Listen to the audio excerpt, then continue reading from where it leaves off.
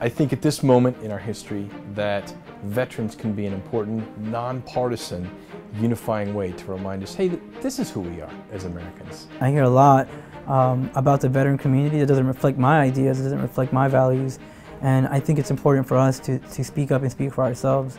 So we had this idea that veterans could contribute and maybe be a unifying, civilizing force.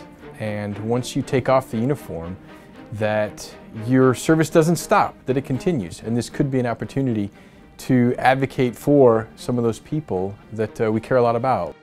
Veterans American Ideals gave me that voice, that ability to tell my story. A phrase that probably makes a lot of veterans chuckle is um, opportunities to excel. It also represents um, doing the right thing even when no one's watching. American Ideals, that's what we fought for um, overseas and that's what we really need to be fighting for here in the United States. Something about uh, putting the uniform on, you're not just representing yourself any longer, you're representing an entire nation. I served with Muslim Americans, with Sikhs, with Jews, with Christians. If there's one thing that the Marine Corps taught me is that we all bled green. It really did inspire me to be more. Um, and that inspiration is honestly why I am where I am today. I think that if veterans are really passionate about um, certain American ideals or certain policies, it's really up to them to get out there, know their congressperson, link up with groups like VFAI, and do the work. When veterans speaks, people will listen.